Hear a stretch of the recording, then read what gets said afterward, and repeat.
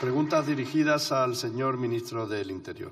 Pregunta de la diputada doña Ana Belén Vázquez Blanco del Grupo Parlamentario Popular en el Congreso.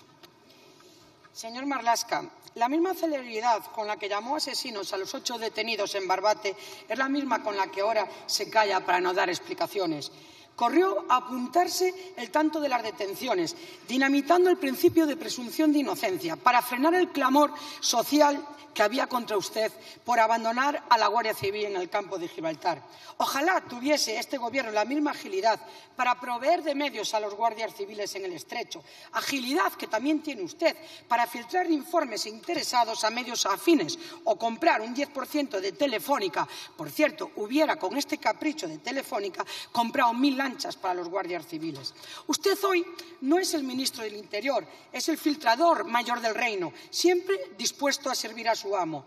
Señor Marlasca, ¿ordenó usted detenciones rápidas para eliminar la presión social contra usted?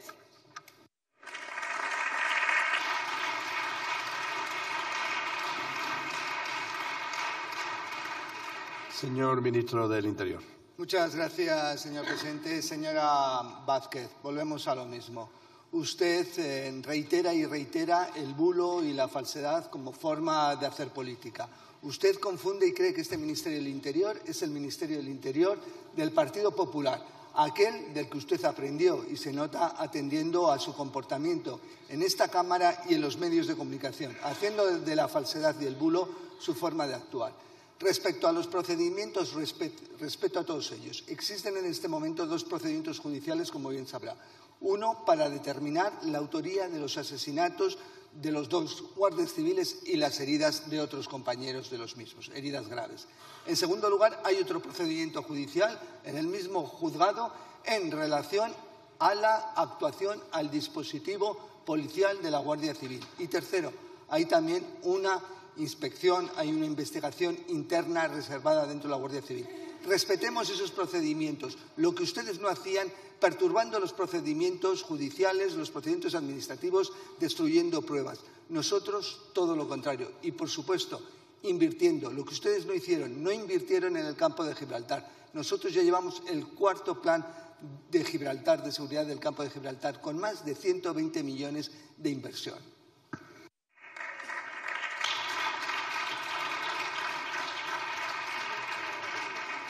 Señora Vázquez. Eh, señor Malasca, palabrería a lo que nos tiene acostumbrado. Miren, la tragedia de Barbate, usted nos ha tomado el pelo a todos los españoles y a la Guardia Civil. ¿Quiere hablar de bulos? Le voy a resumir unos cuantos. ¿Por qué mintió diciendo que había sido una operación impecable enviar a los guardias civiles sin medios directamente a la muerte y ahora investiga un juez sus deficiencias en contra del criterio de la Fiscalía que pedía archivar? ¿Por qué mintió el 10 de febrero y dijo que los narcotraficantes estaban acorralados cuando todavía hoy siguen libres? Es más, hoy con metralletas contra la Guardia Civil. ¿Por qué mintió cuando dijo que la embarcación ha estado en todo momento monitorizada, cuando a día de hoy no sabe ni dónde está? ¿Por qué mintió? Y leo textualmente. Agradezco el trabajo de la Gendarmería marroquí porque se puso inmediatamente a nuestra disposición para evitar la huida de los asesinos. ¿Qué asesinos, señor Marlasca? Si no sabemos, si sabemos que los asesinos se ocultan precisamente en ese país y que según la Guardia Civil Marruecos no está colaborando para su detención. ¿Por qué sigue con su política de ocultación? oración obligó a retirar del orden del día del Consejo de la Guardia Civil la investigación del crimen de Barbate, como pedían los guardias civiles. ¿Qué oculta, señor Marlasca? ¿A quién quiere usted proteger? Mire, las prisas y las órdenes tienen como resultado dos muertos y cero culpables en la cárcel y un responsable político, usted, revolviéndose en el fango de las mentiras. Señor Marlasca, por cierto, las madres y viudas de los guardias civiles asesinados también merecen que las defienda el Gobierno. A ellas no se les ha llamado corruptas, a ellas le han matado a sus seres queridos y usted no está haciendo nada ni el gobierno y solo exigen verdad, justicia y que usted se vaya a su. Muchas gracias.